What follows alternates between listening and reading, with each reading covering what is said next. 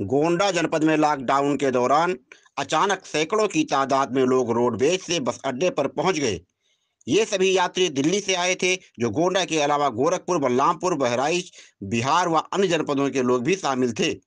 दिल्ली सरकार की नाकामी की पोल खोलते हुए सैकड़ों की तादाद में लोग लॉकडाउन के नियमों को ध्वस्त करते हुए जनपद में पहुँच गए। प्रधानमंत्री ने कोरोना वायरस के फैलने पर रोक लगाने के लिए 21 दिनों का लॉकडाउन लगाया था। लेकिन रोजी रोटी के चक्कर में दिल्ली में रह रहे लोगों को दिल्ली सरकार नहीं रोक पाई, जो किसी तरीके से भाग भाग कर अपने घरों पर पहुँच रहे हैं। हालाँकि जिला प्रशासन द्वारा सुरक्षा के दृष्टिगत सभी लोगों की जाँच बस अड्डे पर कैंप लगवाकर करवाई गई। रात से ही हो रही जाँच में डॉक्टरों ने तीन सौ से ज़्यादा लोगों की जाँच की। डॉक्टरों ने बताया कि किसी भी व्यक्ति के अंदर किसी वायरस की पुष्टि फ़िलहाल नहीं हो पाई है।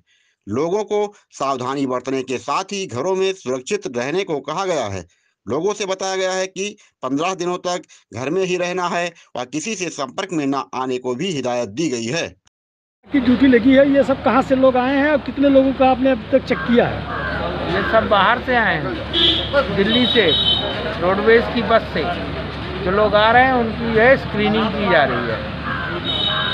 अब तक कितने लोगों के किए गए होंगे? कम से कम तीन सवा तीन सौ आदमियों का रात से लेके अब तक किया जा चुका है। आपकी स्वास्थ्य विभाग की कितनी टीमें लगाई गई हैं? स्वास्थ्य विभाग की चौबीस घंटे टीम लगी हुई है आठ आठ घंटे की ड्यूटी करके सब जा रहे हैं दूसरे लोग आ रहे हैं। इसमें अभी कोई पाया गया नहीं पाया गया? कुछ नहीं पाया गया। जो पाया जा रहा है उसको आइसोलेशन वार्ड में भेजा गया कितने लोग पाए गए होंगे कोई एक भी नहीं पाया गया। इनको हिदायत क्या दी जा रही है? हिदायत ये दी जा रही है कि अपने घर जाएँ और आराम से रहें घर के अंदर। कोई अगर वो होता है तो वहाँ के स्वास्थ्य विभाग की टीम को अवगत करें।